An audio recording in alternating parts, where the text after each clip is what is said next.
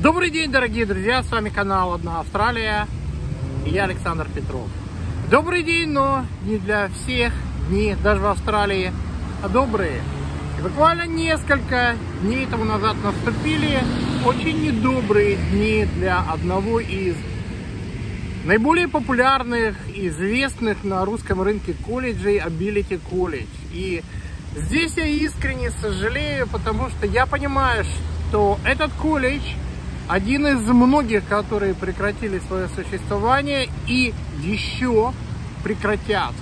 Это последствия вот этой всей закрытости страны, когда люди не могут приехать сюда, а в Канаду, США, даже Великобританию могут. Поэтому это вызывает у нас несколько вопросов. Я не говорю о правительстве, когда оно откроет границы. С этим правительством уже все ясно. Надо ждать другого. И надо оставить то правительство, которое... Ну да бог с ним, об этом говорилось часто. Какие уроки мы должны извлечь из закрытия колледжа Ability и многих других колледжей? Первое. Студенты не должны быть брошенными. И разговоры между колледжами о том, куда пристроить студента, это разговоры между работорговцами. Ну, в принципе, что-то типа этого. Я вижу эти разговоры, и мы можем дать гораздо более лучшие условия для ребят, которые в этом колледже.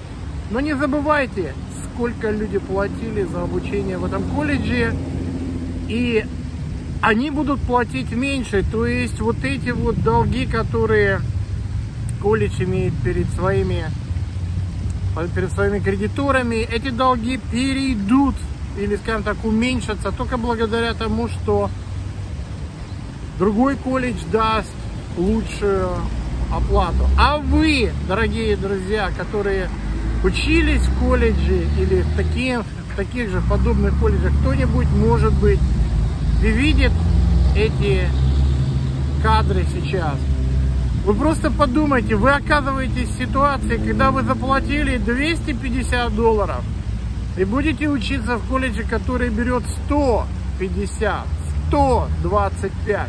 Вам будет обидно? Будет обидно. Спрашивайте своих агентов и спрашивайте себя, почему учебное заведение не говорило вам, почему скрывала от вас эту информацию? Почему государство дало возможность вас зачислить в это учебное заведение?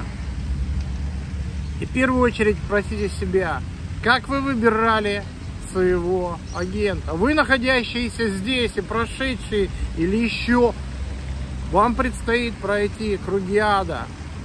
Где ваши агенты? Хорошо, если агенты с вами, а если нет – вот эти вот торги, эти терки, это не значит, что вы обязаны пойти в это учебное заведение. Но это значит, что ваш агент должен позаботиться о вашей судьбе. Кстати, агентам тоже, которые особенно сидят где-то далековато от Австралии. Ну чё, комиссионные, наверное, не получите? Так и по делам. Агент, не находящийся на территории, должен страдать. Жизнь такая. Что касается учебных заведений, им тоже надо извлечь урок, потому что завтра на месте Ability колледжа может оказаться любое частное, а может даже и государственное предприятие. Уже открытую говорят, что университетам следует уменьшить количество своих кампусов. Может быть, головной кампус и останется, а остальных надо почистить. И если мы вдруг увидим, что университет Южного Креста будет, а, будет только где-нибудь, где он там находится, в каком-то какой-то дыре, забыл даже где он находится, в Лизмаре, да? Вот. И что будет, если нам скажут, вот только Лизмар, или вот только, допустим, Новый Южный Уэльс и Квинсленд. Или то же самое университет Центрального Квинсленда. Центрального Квинсленда, вот и будьте там. Да не лезьте в Сидней, в Мельбурн. Кстати, это, может быть, было бы и справедливо. Но для частных учебных заведений это вопрос жизни и смерти. Я не вижу людей с плакатами на улицах. У нас голосуют, у нас протестуют все, кому не попадя, против ношения масок, против... Люди теряют миллионы долларов. Все эти колледжи стоили миллион, полтора, два, два с половиной и даже больше. Эти деньги исчезли.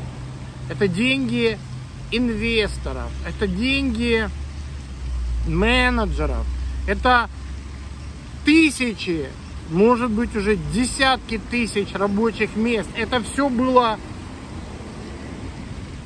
wiped out, сметено. И это главный урок.